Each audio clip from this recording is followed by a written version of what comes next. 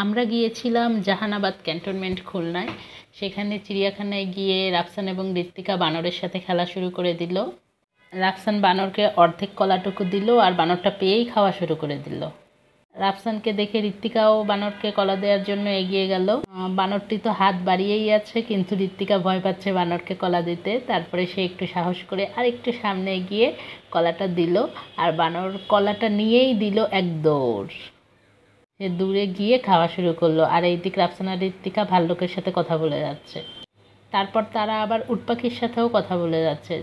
আর উটপাখিগুলো এমন আচরণ করতেছিল যেন তারাও রাফসানা ঋত্বিকার কথা শুনতেছে। এরপর ঋত্বিকা আবার নাচ করে দেখাচ্ছে উটপাখিদেরকে। ওর ফ্রেন্ডও এসে ওদের সাথে একটু মজা করল। দূর থেকে আমরা দেখলাম বাঘ। তারপর এখানে ছিল একটা গাধা। ঋত্বিকা গাধাকে পাতা খাওয়াচ্ছে আর আদর করতেছে। ছিল বিভিন্ন পাখির ডিম। ছিল হরিণ হরিণ নিয়ে ঋত্বিকা, ওর ফ্রেন্ডরা সবাই মিলে অনেকক্ষণ ধরে খেলা করল, তাদেরকে পাতা খাওয়ালো। ঋত্বিকা আর ওর ফ্রেন্ডরা মিলে হরিণদের সাথে অনেকক্ষণ খেলা করল। আর অনেক পশু পাখি ছিল সেখানে আরও দেখলাম দুইটা অজগর সাপ, আমার তো ভয় লাগে সাপ দেখলেই। আবার ছিল গুই সাপ। সেখানে আরও অনেক পশু পাখি ছিল, সেগুলোর ক্লিপস আমরা নিতে পারিনি, কিন্তু দেখেছি সারাদিন, অনেক এনজয় করেছি।